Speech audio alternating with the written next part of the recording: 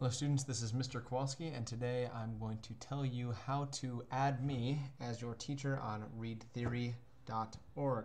What you're first going to want to do is uh, log in to your account, which you should have if you watched the previous email or watch the previous uh, video.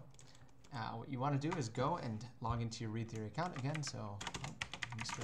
Kowalski is mine, and there's whoa, that is not the right password. Okay.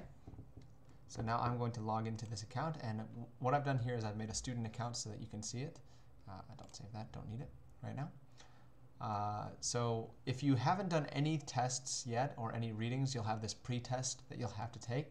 Uh, you don't need to do that yet if you, just to add me as a teacher. So what you're going to want to do first to do that uh, is click up here on My Teachers, and then you will type in my name.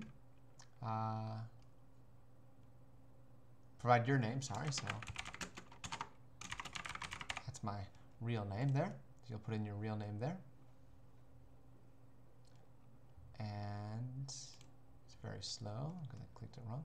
Parent or teacher email address. So you would add your teacher, me. Uh, you would add my email address. So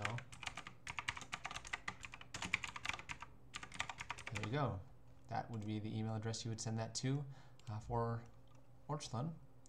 Uh, if you are not a, one of my students, uh, you would put in your teacher's email address and you hit send invitation and that's it.